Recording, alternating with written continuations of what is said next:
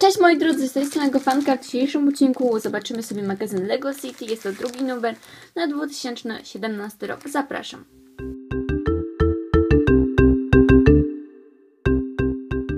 Przejrzymy sobie tak troszeczkę tą zawartość magazynu. Tak.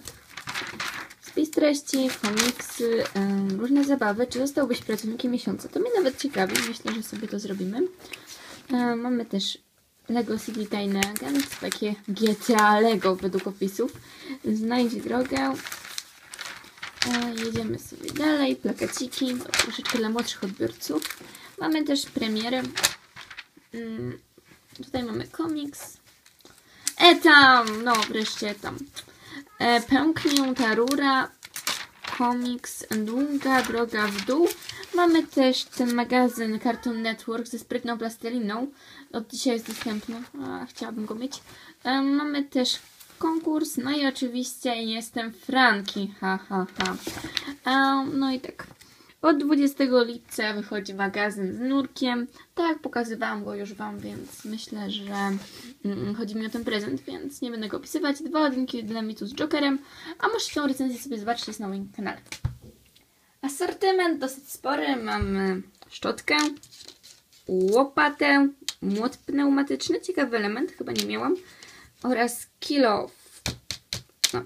E, jeśli chodzi o naszą taczkę, mam problem, ponieważ na opakowaniu jest, że ma inne koło, a tutaj dostajemy to, które mniej lubię, no trudno.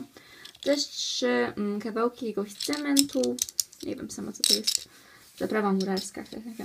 Jeśli chodzi o naszą minifigurkę torsu, takiego nie miałam, więc spoko, szkoda, że nogi nie nadrukowane. Głowa bardzo powszechna w LEGO City, nawet miałam już kilka takich figurek.